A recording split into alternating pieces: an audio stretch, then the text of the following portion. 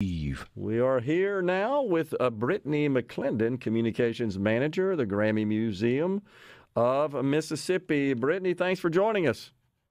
Hey, thanks for having me today. I appreciate it. Tell us about what's going on at the Grammy Museum in Cleveland. Okay, well, it's been a busy spring. We've had a ton of things coming up.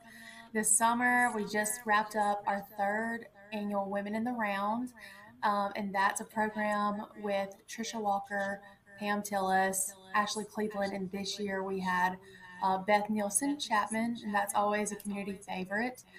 Um, we're pretty busy over here with end of the year field trips from schools throughout the state.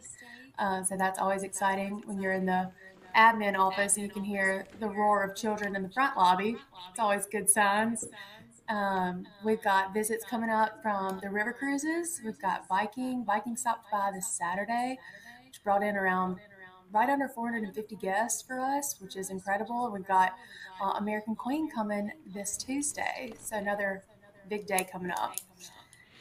So, do you find that the that the summer vacation months uh, see more uh, visitors to the museum?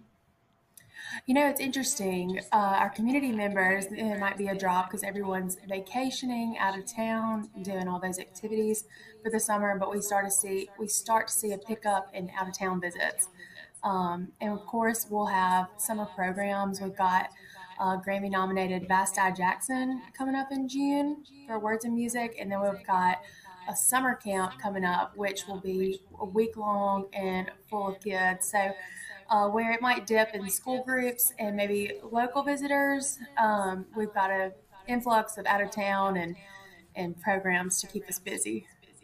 Yeah, gotcha.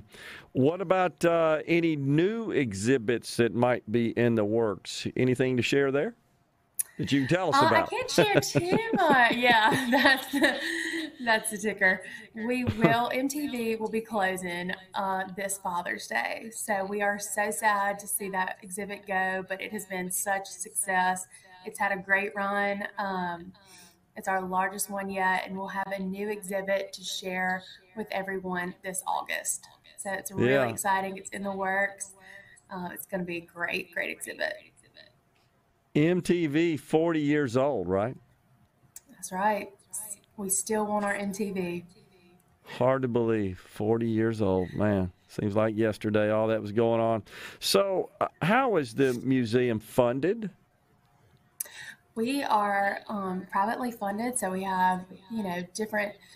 Emily Havens, our executive director, she is over fundraising, and we have museum memberships, we have private funders, we have community funds, and um, we also get funding through our we have a lobbyist that helps us with different grants throughout the state, and a lot of grants are what um, make our world go around over here. Gotcha. What was the reason for the museum locating in uh, the the Grammy Museum of Mississippi, locating in Cleveland? What's what's the story behind that? So it's actually a really remarkable story. Uh, back in the mid 2000s, um, Bob Santelli was the executive director of Grammy Museum LA Live, and he wanted to expand the brand. And he was like, you know, what better place than where music started here in Mississippi?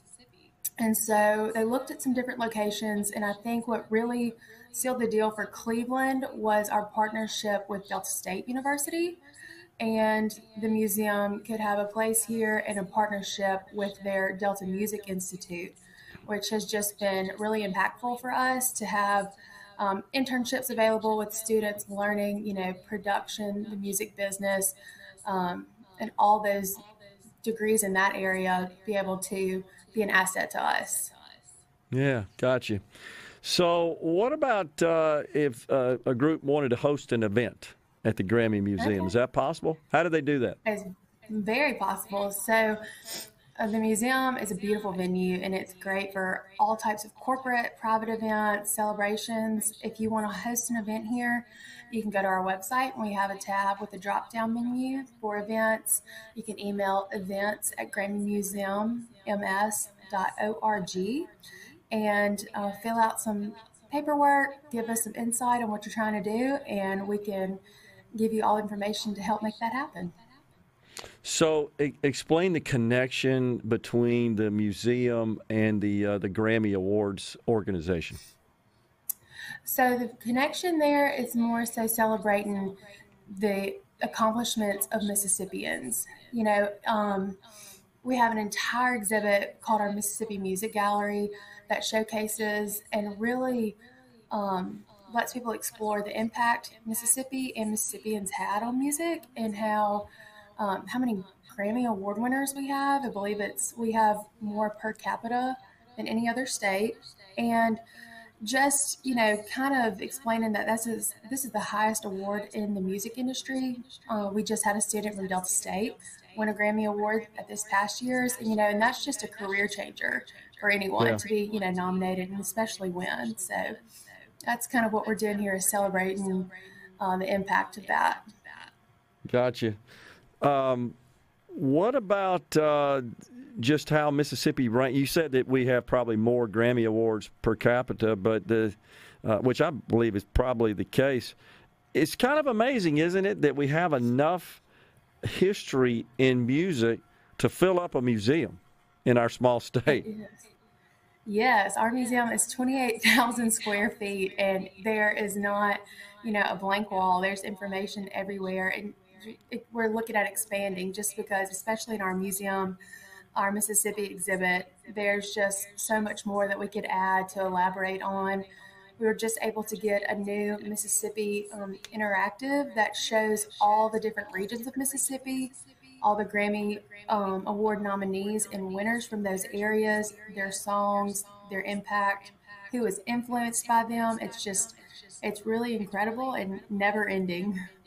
Yeah, so, um, Brittany, do you receive visitors from other parts of the country that have, have not been to Mississippi? They're not native to Mississippi, and uh, they come because the museum is a destination exclusively to expressly to visit the museum. That's the reason they come here.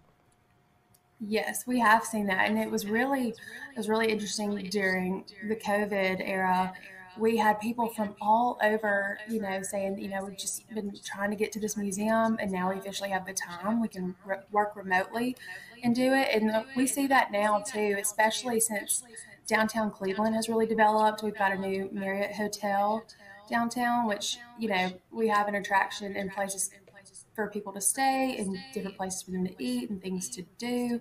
So we've seen a pickup in that in the past few years, and it's um, really exciting. What do you hear? Uh, some of the comments you may hear from folks who are new to Mississippi, haven't been here. They come and experience it in the in the Mississippi Delta and uh, visit the museum. What do they say? What do you hear?